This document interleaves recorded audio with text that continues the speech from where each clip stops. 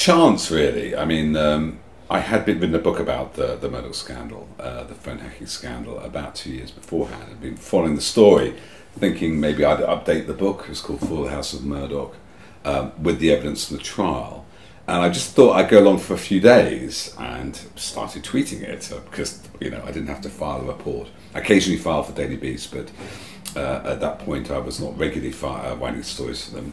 And then started getting all these followers, and and then what happened was the judge, much to my surprise, said you could live tweet the whole thing.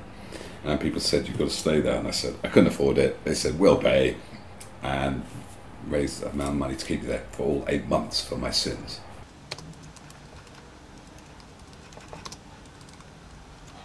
and they all for walks of life. I just, you know, they're the people who wanted me to provide coverage, detailed coverage of the trial, really for free for other people. So it's a kind of almost like a, you know, telethon for something like PBS in America.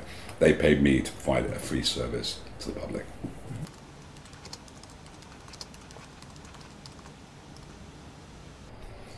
Well, the benefits of tweeting a trial are that you get the ebb and flow of a uh, trial. What people kind of miss in the amazingly detailed daily reports you get from like Court Reporter and from all the other journalists there, you get a summation of the day. You don't actually get the pace and the you know it's like watching a football match sometimes. You don't know what's going to happen and obviously a report is not as good as a live match.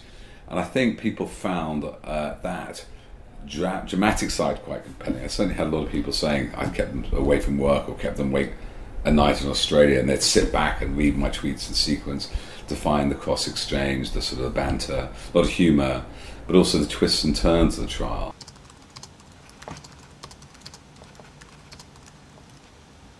Oh my goodness, what do you not have to be wary of? We got to remember the phone hacking trial. I'm just writing a book about it, Beyond Contempt. It was just coming up this section with Dan Evans, who was the News of World journalist who was kind of prosecution witness, a supergrass, if you like there were over 30 names you could mention by that point in his evidence, which he was going to say live to the jury. Uh, and we would have to redact and come up with code names, you know, of the World senior editor, journalist, whatever. There were code names, Daily Mirror executive or Sunday Mirror executive, it's to not give away names which could come up in future trials or investigations. But then you had the additional problem was not to contempt this jury, I to tell them something they weren't agreed facts, they weren't allowed to be told. The classic one is that appearance of Rebekah Brooks in the DCMS committee in 2003 says she's paid police. Because of parliamentary privilege, that cannot be used in court. Anybody tweeting that, mentioning that, was technically in contempt of court and could go to prison. And so you had to be very, very careful not to tweet out information which the public couldn't hear or the jury couldn't hear. And beyond that, you're not allowed to comment. You're not allowed to say, as GQ did, Michael Wolff article, well, this is a bad defense or a good prosecution or bad prosecution or good defense. No comment, pure reporting.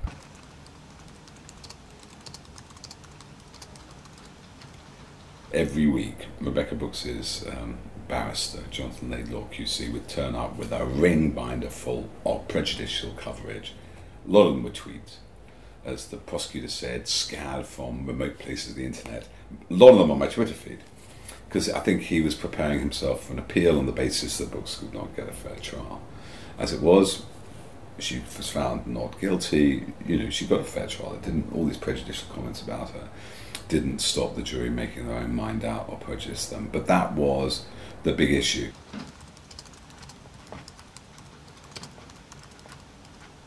Well, one of my favourites is actually when uh, when Rebekah Brooks was giving evidence. She talked about Dan Evans. She was a- a- absent for that phase of uh, the Supergrass, which I must write about actually. And and she said, "Oh, I was reading it all on Twitter. You know about the evidence on Twitter, and nobody looked at me." Uh, and judge says, "Don't believe everything you read on Twitter." And I tweeted that on Twitter, which was a kind of a mind game. If you know, if it's somebody saying, uh, you know, judge says, "Don't believe." Everything you read on Twitter you read it on Twitter. Uh, there are so many highlights. I mean, Dan Evans is one, Rebekah Brooks is one concession, one, if you like, slip in her whole evidence was when she was out charmed by the judge, who was the she was the second most charming person. The woman, Justice Saunders, was the most charming person.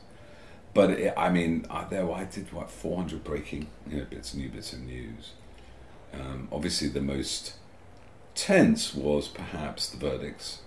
The rest we had a false alarm uh, uh, the day before, and I'd had this rush of adrenaline, thinking the verdicts were in, they weren't. The jury just want to go home. I think that last phase was one of the last phases where we were waiting around all these journalists like bad school children in the sixth form canteen with the jury was some of my favourite phrase, and you know tweeting that out. But um, it was a whole thing was quite a mega journey.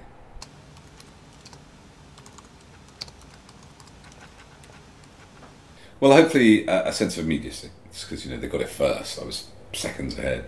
Nick Davies even with the affair. I think 15 seconds when that was released, the Coulson Brooks affair. Uh, a detail.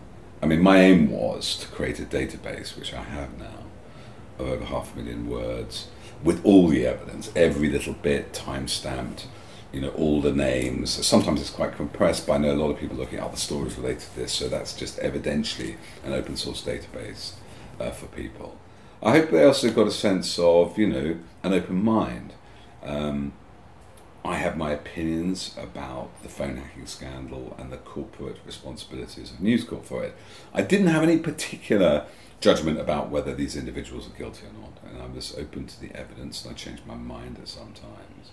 And I was completely fascinated by the court process. So I think, though, you know, someone like Louise Mensch maybe accused me of being partisan. I wasn't. I changed my mind during it.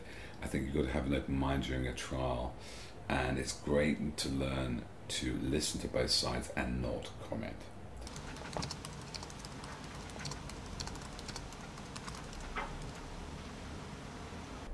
I think court reporting is a very specific thing. We don't allow cameras into our courts, which I think is a good thing. They tend to be very emotional. You know, focus on OJ's gloves or you know Oscar Pistorius crying. Um, and so for court reporting interesting cases, I think live tweeting is really good because you get it's evidential, it's immediate, uh, and you get the detail.